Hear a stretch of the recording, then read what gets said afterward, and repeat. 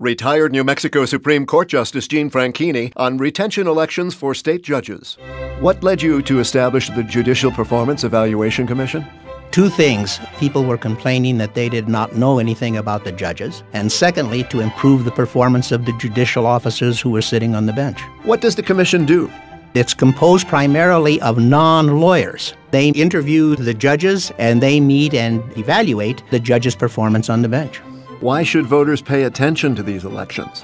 Eventually, some of them, if not all of them, will have to go before a judge. Most voters never go into the courthouse and they don't know anything about the judges. So the results of these interviews help them to make a choice of yes or no on these retention elections. Do you think the commission has helped improve our state's judiciary? I think that overall it has improved the judiciary tremendously.